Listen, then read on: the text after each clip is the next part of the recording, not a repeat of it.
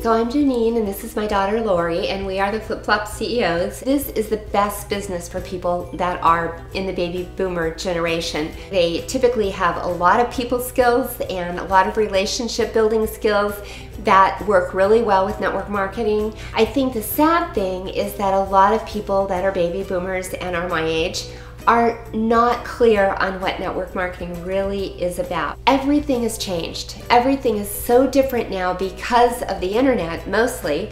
Um, it's not the situation that it used to be where you were buying a bunch of products and and ha having them build up in your garage and not being able to get rid of them kind of thing. And I think that's what sometimes, sometimes people are still thinking.